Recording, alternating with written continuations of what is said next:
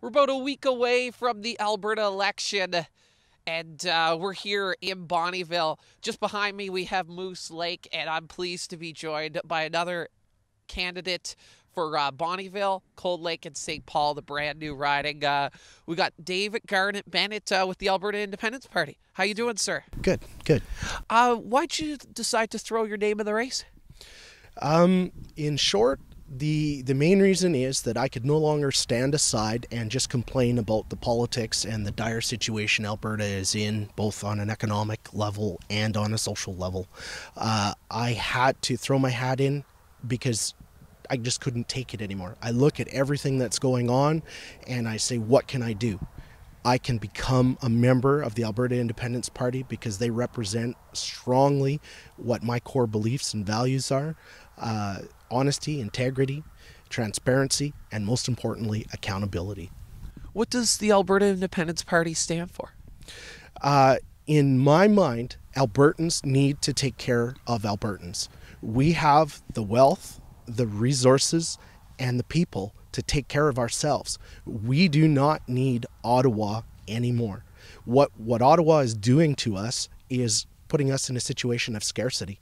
We we have the common sense, but we don't have this kind of sense because it's being taken away from us. Ottawa is the one that's taking it away. If we give ourselves back that money, we're immediately in prosperity again. So, what are your thoughts on equalization payments? Um, it's numbers. It's a numbers game. Taxes are a numbers game. Uh, the equalization is a tax in short, and any tax is something levied against its people. We cannot tax our way into prosperity.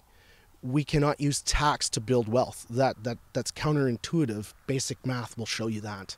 Uh, we need to take that money, put it back into Alberta, fund Alberta, and take care of Alberta first. Uh, one such example would be the pipeline. We financed a pipeline, we would have built it. That's who Alberta is.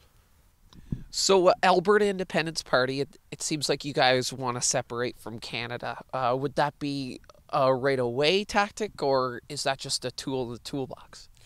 Uh, it is a tool ultimately we're a Team Canada player, but if we have to, in order to take care of ourselves, separation is an option. Separation would be a natural result of ending equalization payments. Uh, the point is build a pipeline, take care of yourself.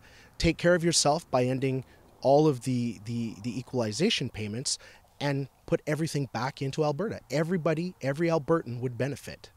The Alberta UCP seem to have a, a lot of your ideas. Uh, why not throw your support uh, behind them? They are a traditional party. They are from the past, and the last 115 years, that's 2019 to 1905, we have the exact same behavior, the exact same results. The definition of insanity is to do the same thing again and again and expect a different result. The Alberta Independence Party is a new result. We are a new breath. We are a new energy. We take all of Alberta's people, we put them together. We take our own energy, our own money. We make things happen. David Garnett Bennett with the uh, Alberta Independence Party. Uh, remember, April 16th is the day to vote for the Alberta election. For primetime local news, I'm Justin Marshall.